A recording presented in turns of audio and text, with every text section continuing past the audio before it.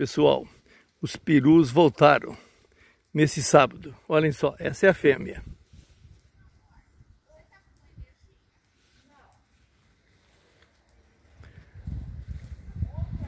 Estou aqui na, no, no quintal da minha vizinha, a Mônica Lali.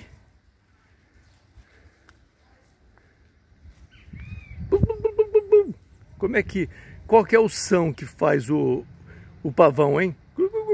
Esse é peru, farina, larga mão ser burro. Alguém sabe o som do peru? Faz aí para nós.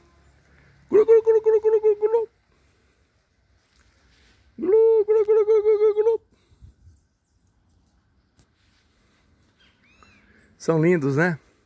O do pescoço azul é o macho. Como que eu sei? Porque eu sei, ué.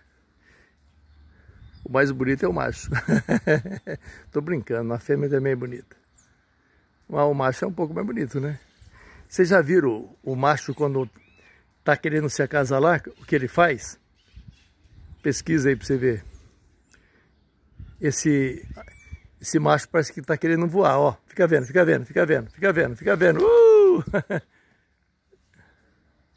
Agora a fêmea, obediente do jeito que é, tenho certeza que vai querer ir lá onde que está o marido dela. Vai lá com o teu marido, vai. Quer ver? Agora vai. Pronto, eu não falei. Ó um gatão. Passou um gato aqui também.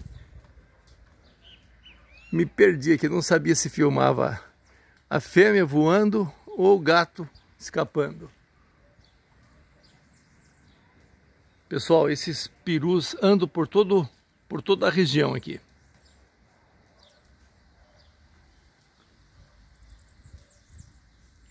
Agradecimentos aí à minha vizinha Mônica Lali. Não. Olha pessoal, na casa da Mônica, olha que flor mais linda do mundo. Essa aqui chama de São João, né? Como é que chama essa flor, Mônica? Não sei, Farinha. São Joaquim, São Jorge. Acho que é de São Jorge. Ó, falei o nome de três santos para descobrir qual era o verdadeiro. É, acho que é de São Jorge.